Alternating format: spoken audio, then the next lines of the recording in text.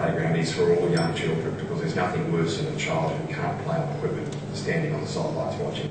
Winners will represent the region at the National Awards in Sydney on the 4th of December.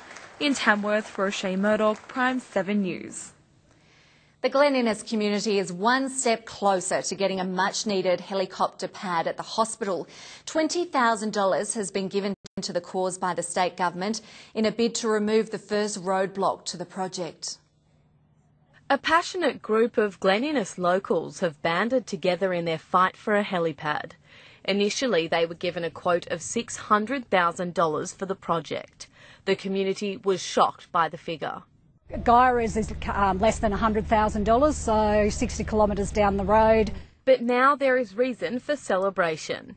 A $20,000 grant will go towards getting a detailed design done to give a more accurate quote. The community has already raised $120,000 for the helipad.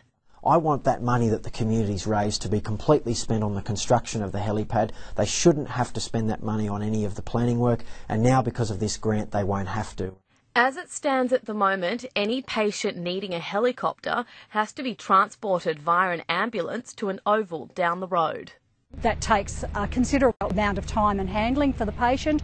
They have to be loaded into the ambulance, unloaded down at the site, and then back up into, uh, into the helicopter.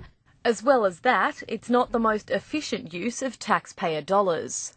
It requires the health service to spend money to get the ambulance service to transport patients to and from the helicopter to the hospital. And that's a, that's a ridiculous cost which doesn't need to be there.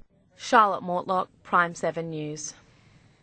Sport is next with a win for the home side in the regional final of 15s basketball and two NEG students show their skills on four legs.